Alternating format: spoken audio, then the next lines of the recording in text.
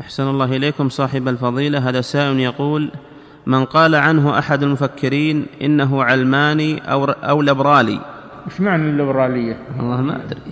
حرية حرية بهيمية ولا حرية شرعية؟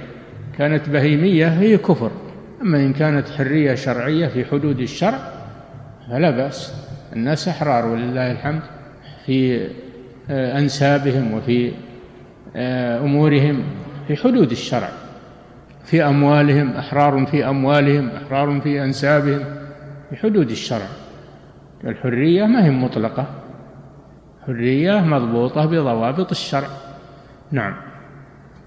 أحسن الله إليكم. يقول في تتمة سؤاله والحكم ما هو للمفكرين في هذا الحكم للعلماء.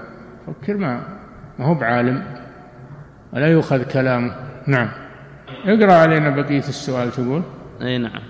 يقول سلمك الله من قال عنه أحد المفكرين إنه علماني أو لبرالي هل يشهد له بالإيمان أو يدخل في دائرة الإيمان؟ وما واجبنا تجاهه وهل نبغضه؟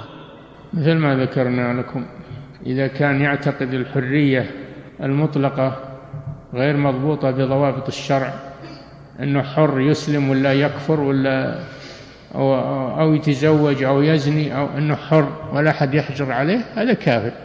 أما إن كان يقصد الحرية التي أعطاها الله له في ماله في أهله في في أموره التي في حدود الشرع في نسبه أنه ما أنه حر ما هو برقيق هذا هذا لا بأس. نعم. إعداد مشروع كبار العلماء بالكويت أعزها الله بالتوحيد والسنة.